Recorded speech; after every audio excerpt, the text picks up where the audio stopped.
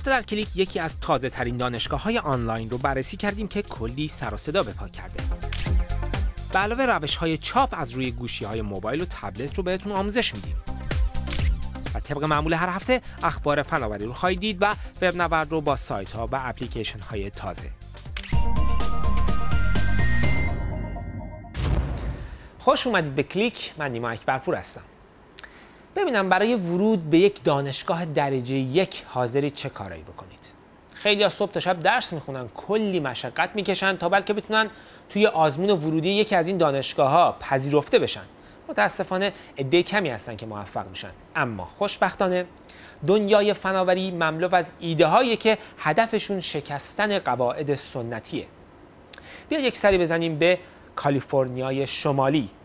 جایی که یکی از این پروژه در جریانه و هنوز هیچی نشده کلی سر و صدا به پا کرده.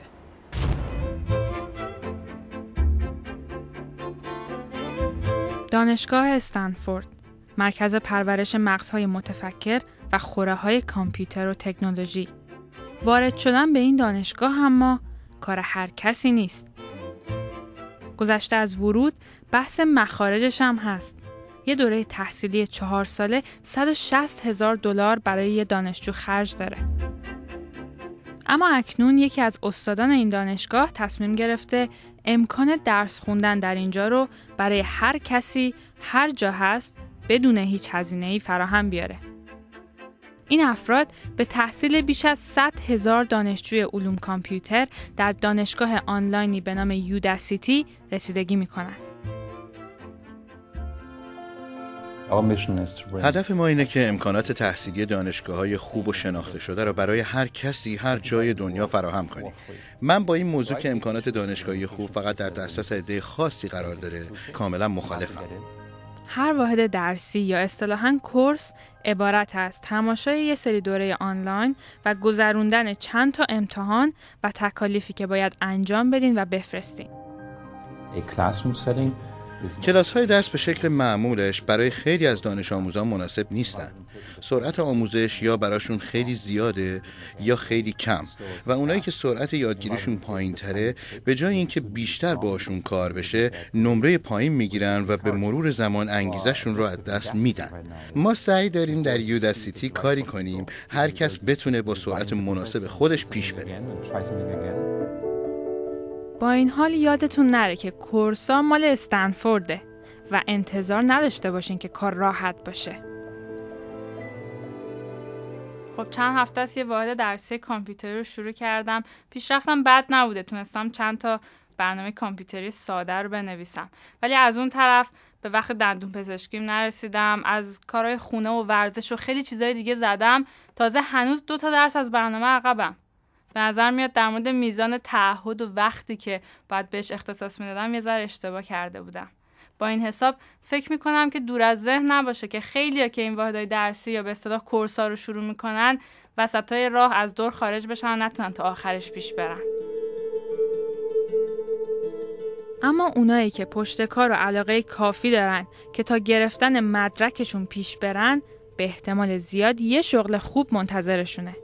چیزی که به تامین بودجه خود یوداسیتی هم کمک می‌کنه. ما برنامه داریم دانشجوهای خوبمون رو به کارفرماها برای استخدام معرفی کنیم و از شرکت ها هم برای هر مورد خوبی که معرفی می‌کنیم یه مبلغ کوچیکی بگیریم.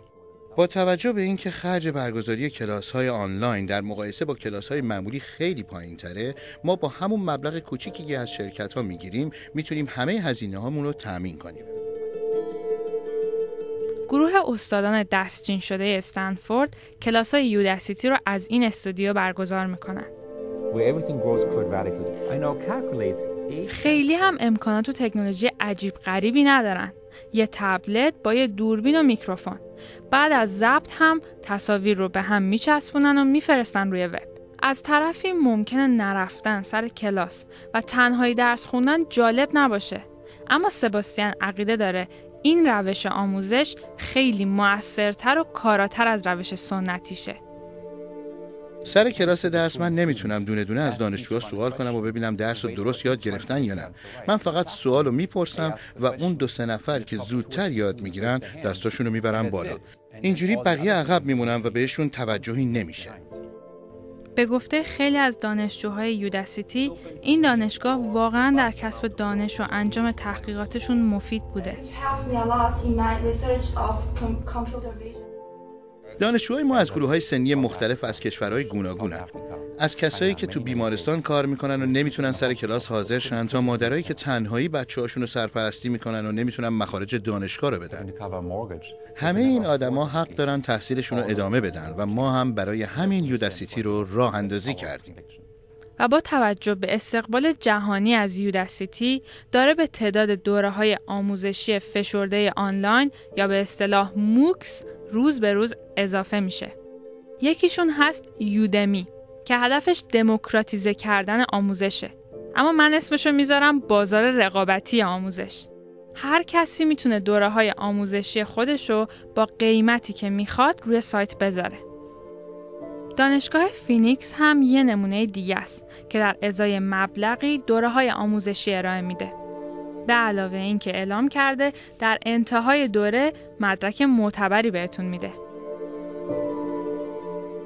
و دانشگاه MIT هم اخیرا اولین course آنلاین مجانیش رو روی MITx گذاشته که به زودی به تعداد این دوره ها اضافه میشه. و دفعه بعدی که دستگاه اپلتون رو به iTunes وصل کردین یه نگاهی به iTunes U بندازین که حدود نیم میلیون کلاس آنلاین در زمینه هزاران رشته تحصیلی توش وجود داره. اما اینا چطوری می‌خوان با آموزش به شکل سنتیش رقابت کنن؟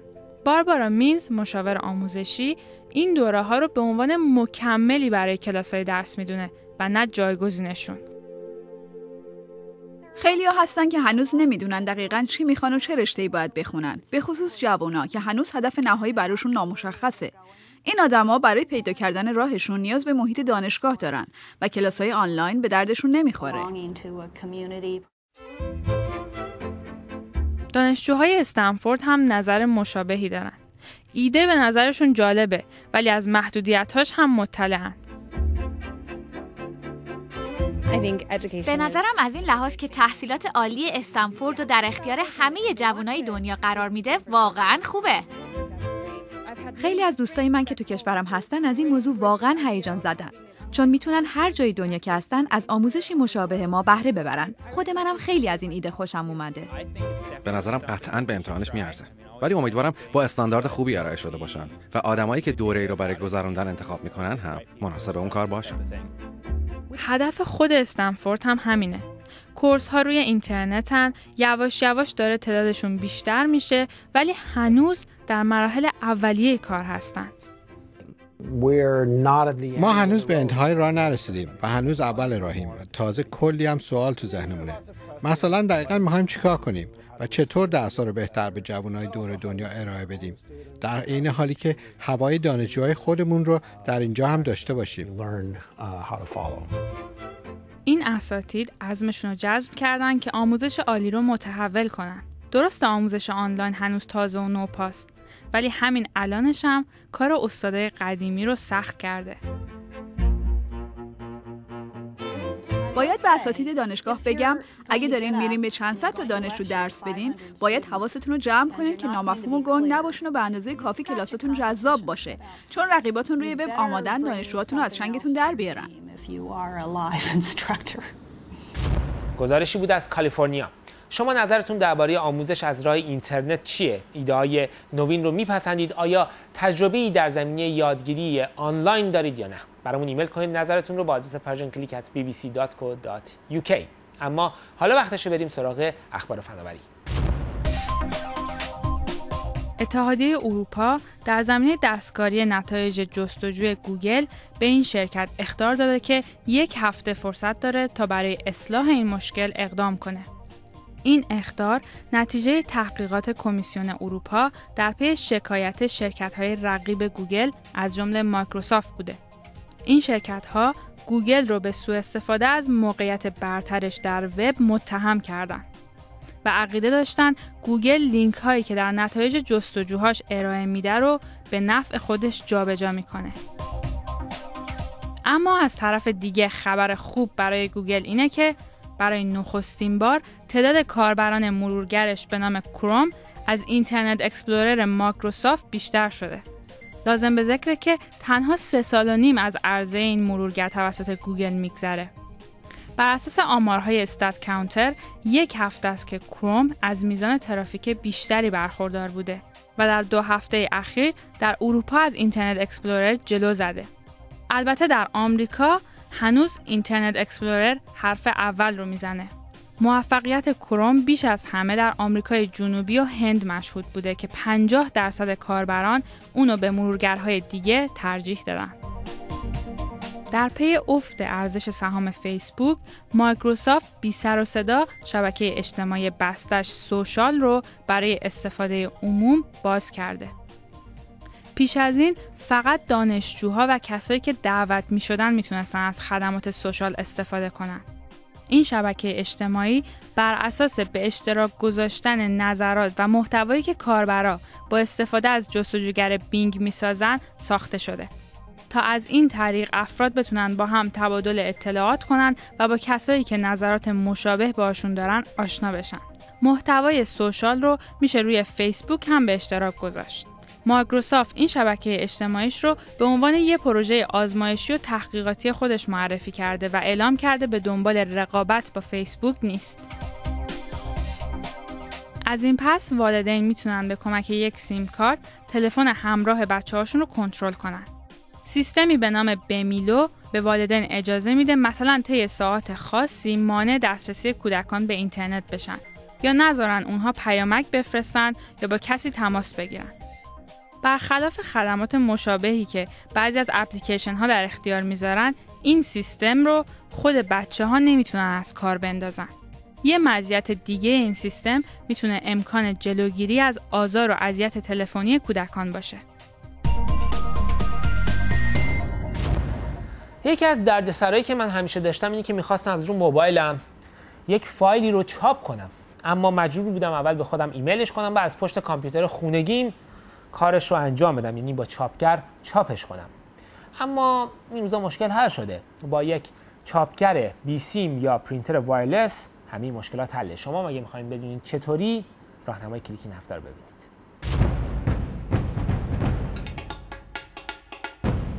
پرینترهای امروزی با کلی بازارگرمی وارد بازار میشن و بی صبرانه منتظر خریداری شدنن. منتها قبل از اینکه بریم سراغ خرید لازمه تصمیم بگیریم کدوم یکی از این دوتا رو انتخاب کنیم. یعنی جوهر یا لیزر؟ پرینتر لیزری سریعتره و البته گرونتر. بنابراین خیلی هم عجیب نیست که عمده مصرف کننده های خونگی میرن سراغ پرینتر inkjet یا جوهر افشان. حالا اگه یه روز جوهر پرینترتون تموم شد و بعدش متوجه شدین که قیمت یه کارتریج نو از خود پرینترم گرونتره تعجب نکنین. و در نظر داشته باشین که اگه پرینترتون از یه کارتریج تک واسه پرینتر رنگی استفاده می‌کنه معناش اینه که اگه حتی فقط یکی از رنگهای کارتریج تموم بشه شما مجبورین کل کارتریج رو تعویض کنین. طبیعتا هرچی resolution پرینتر بالاتر باشه نتیجه نهایی چیزی که پرینت میشه هم بهتره. پس اگه قصدتون اینه که عکس چاپ کنین دستگاهی رو بردارین که میزان DPI یا تعداد چاپ نقاط در هر اینچش بالاتر باشه. و اگه بیشتر می‌خواین از اسناد و مدارک متنی پرینت بگیرین حواستون به حالتی به نام duplex printing باشه. حالتی که در اون پرینتر به صورت اتوماتیک رو هر دو طرف کاغذ چاپ می‌کنه. اینطوری کاغذ کمتری مصرف می‌کنین و طبیعت هم سپاسگزار این توجه ویژه شما خواهد بود.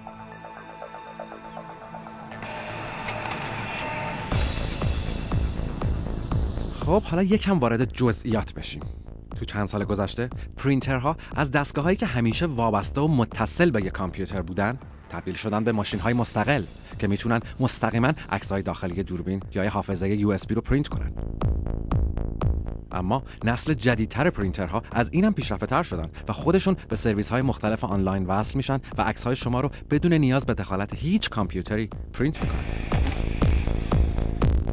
پرینترهای wireless می‌تونن با طیف گسترده ای از دستگاه های موجود در شبکه داخلی خونه یا محل کارتون اعم از لپتاپ، تبلت و موبایل ارتباط برقرار کنند. روی دستگاه های اپل این کار از طریق AirPrint صورت می‌گیره. سرویسی که راه اندازی خاصی هم نیاز نداره و کار باهاش راحته. هرچند که نمیشه از طریق app های دیگه اجراش کرد. برای اون کار لازمه که یک app مجزا مثل Printer Pro داشته باشین که بهتون اجازه میده تقریبا هر فایلی رو مستقیما از داخل سرویس های تحت cloud مثل Dropbox پرینت کنین جالبه که AirPrint روی کامپیوترهای Mac کار نمی‌کنه. بنابراین برای کار با پرینتر wireless روی Mac باید مثل همه کامپیوترهای دیگه روش درایور نصب کنین. پس با این حساب اینکه از فاصله چند متری به پرینترتون دست دور بدین کار ساده و راحتی به نظر میاد. اما از اون سر دنیا چطور؟ خب دو تا راه واسه این کار وجود داره. اولین راه ارسال ایمیل به پرینتره. البته پرینتری که خودش صاحب یک ایمیل مختص به خودشه و تقریبا هر چیزی رو بهش بفرستین پرینت می‌گیره و تحویلتون میده.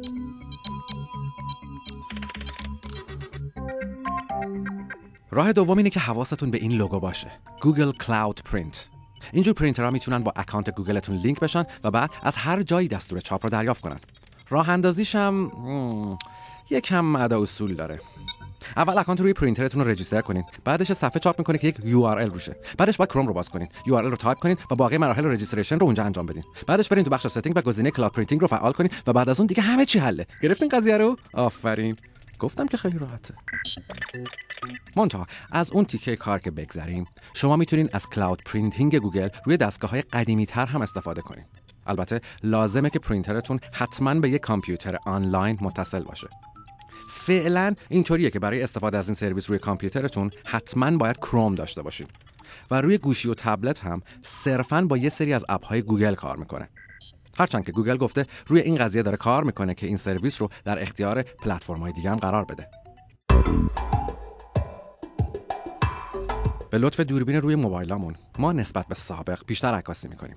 به همین خاطر این جور پرینترهای ریزه میزه تر برای چاپ عکسایی که با موبایل می‌گیریم می‌تونن مناسب باشن. مثلا این نمونه رو می‌تونین آیفونتون رو بذارین روش و بلافاصله شروع به پرینت بکنین. و این پرینتر Canon هم با 10 گیگابایت فضای cloud می‌تونه یه عکس رو زیر یه دقیقه چاپ کنه و می‌تونه علاوه بر پریز برق با باتری هم کار کنه.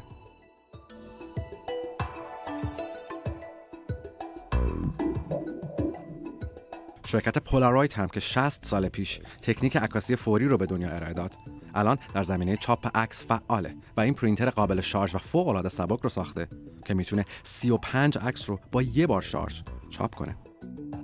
این پرینتر با استفاده از وای فای به هر کامپیوتری وصل میشه و همچنین از طریق بلوتوث تقریبا با هر دستگاه موبایلی کار می‌کنه.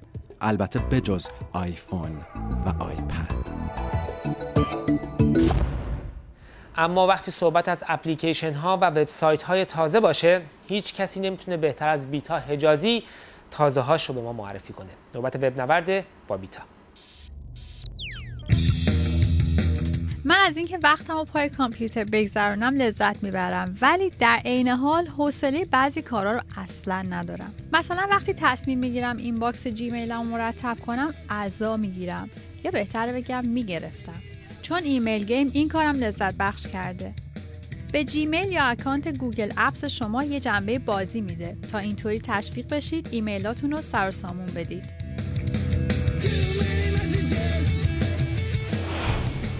کارهایی که با ایمیلتون انجام میدین مثل همیشن. جوابشون می‌دید آرشیوشون می‌کنید حذفشون می‌کنید. اما timer ی که اینجا وجود داره باعث میشه که به عجله بیفتین. در نتیجه نمی‌تونین همه روزتون رو بشینین پای mailbox تون.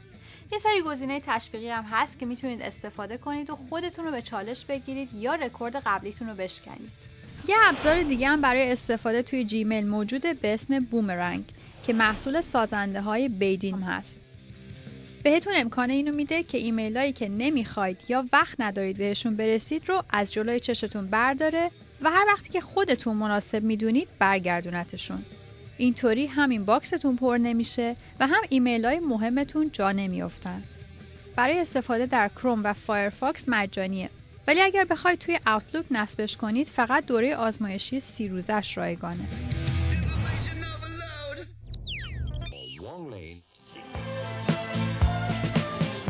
اگر اهل گوش کردن به برنامه های رادیویی هستید باید از tunein.com خوشتون بیاد.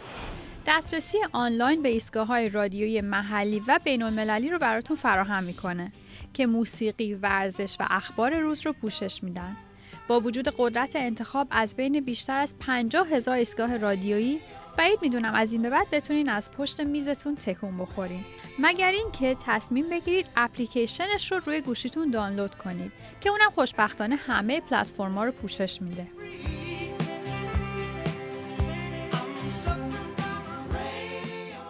وقتی اپلیکیشن رو دانلود کردید بهتون هشدار میده که ممکنه تا 100 مگابایت در ساعت از سرویس data ی موبایلتون استفاده کنه. در نتیجه ممکنه براتون خیلی گرون تموم بشه. من پیشنهاد میدم بذاریدش روی mode Wi-Fi و اینطوری دیگه جای نگرانی نیست. می‌تونید به راحتی بشینید و بهش گوش بدید. به غیر از برنامه های رادیویی زنده پادکست های زیادی هم موجوده. و اگر نسخه premium ش رو خریداری کنید می‌تونید با استفاده از وای فای برنامه های رادیو رو ضبط کنید و سر فرصت بهشون گوش بدید.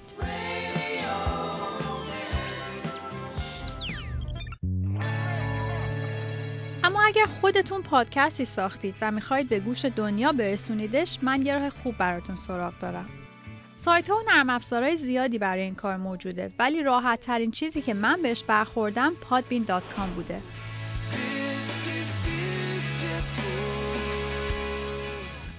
انتشار پادکست از توی سایت شبیه کاریه که توی پلتفرم های blogging انجام میشه.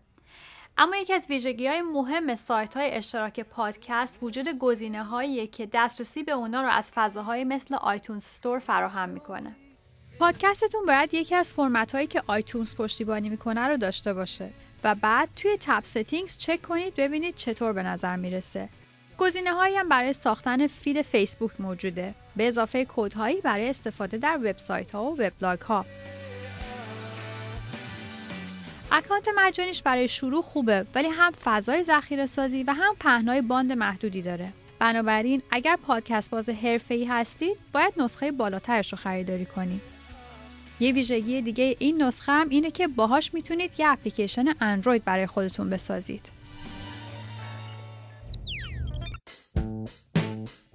به نظر می‌رسه که این روزا مردم شیفته به اشتراک گذاشتن عکس توی اینترنت هستن. باورتون میشه روزی 250 میلیون عکس توی فیسبوک آپلود میشه.